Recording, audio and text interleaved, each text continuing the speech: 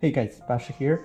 Today we're going to do some pan-fried um, smelt, which I got a few days ago.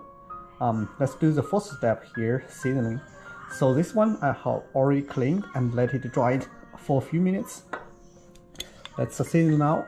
I have uh, around 2 pounds of fish, so 3 spoons of this soy sauce.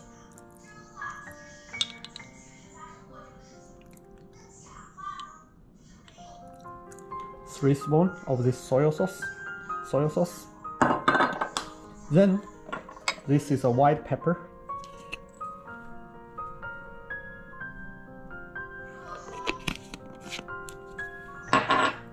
And then black pepper.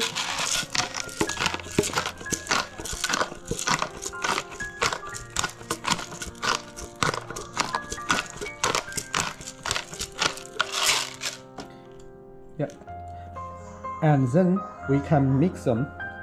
Make sure like the soy sauce and the pepper, they are um, covered every fish together here.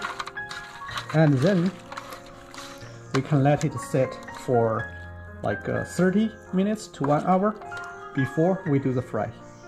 Yep. Okay, here's the step two. Let's prepare the coat for this fish before frying. So this is all-purpose flour, salt. Just um, normal salt should work. I just have some sea salt, so I just put sea salt.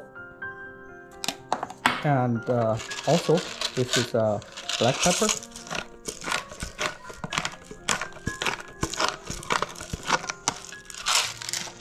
And uh, if you have like uh, garlic, you can put garlic powder and uh, if you like spicy you can put spicy powder in here too and then just mix them.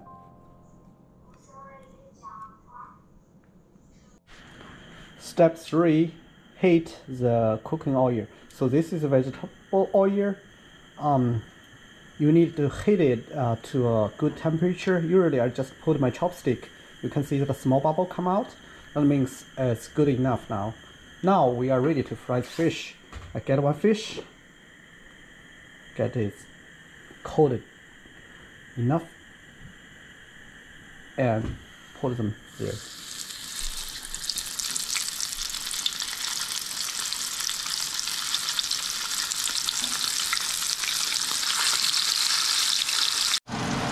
So fry each side to make sure they have the golden and a little bit brown color now it's ready to take the fish out and to eat.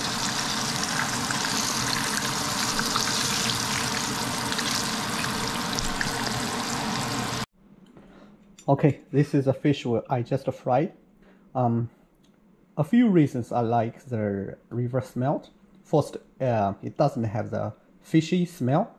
Second, the bone is super soft. Uh, third, the meat is um, very soft, feels like tofu. Let's just take a look at it here. See, this is a meat tinger, and uh, tastes really really good. Yeah, let's have a taste. Mmm, really really really good. Okay, hope you guys like this video.